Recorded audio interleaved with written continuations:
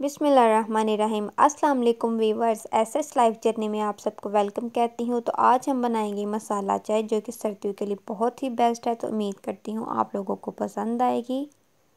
तो उसके लिए हमें चाहिए वन टेबल स्पून लौंग लेंगे हम। तीन इंच के मैंने तीन ही दारचीनी के पीसेस लिए हैं, आप इनका साइज़ देख सकते हैं।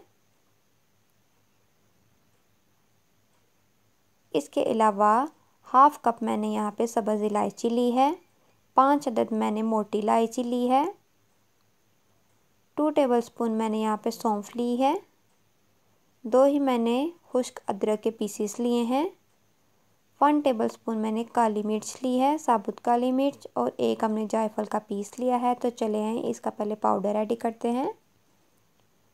सबसे पहले मैं इन तमाम चीज़ों को डाल के रोस्ट करूँगी।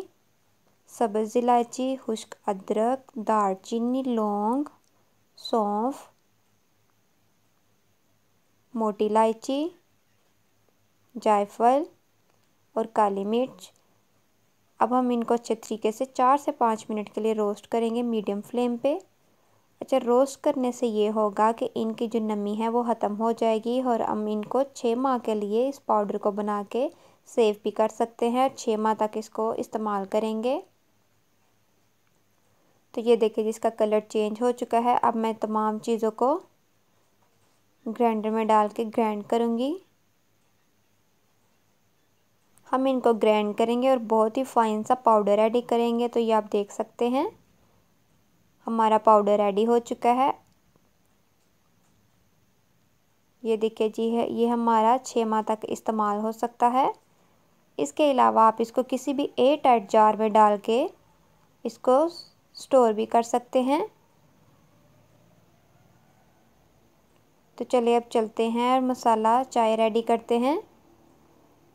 सबसे पहले एक बर्तन में हमने एक गिलास पानी लेना है और उसको उबलने के लिए रखना है। जब पानी उबल जाए तो उसमें टू टीस्पून मैंने चाय पत्ती शामिल की है। मैं टू कप्स के लिए चाय बना रही हूँ। टू सर्विंग्स है। साथ ही मैंने इसमें वन टीस्पून मसाला पाउडर जो कि रेडी किया है, वो शामिल करूँगी। टू टीस्पून इसमें चीनी शामिल करूँगी। और इसको मिक्स करके हम उबाल आने के लिए रखेंगे। जब पानी उबल जाए, कहवा बन जाए तो फिर उसमें एक गिलास हम दूध शामिल करेंगे।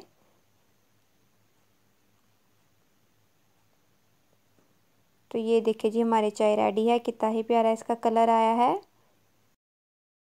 चलते हैं, इसकी सर्विंग करते हैं।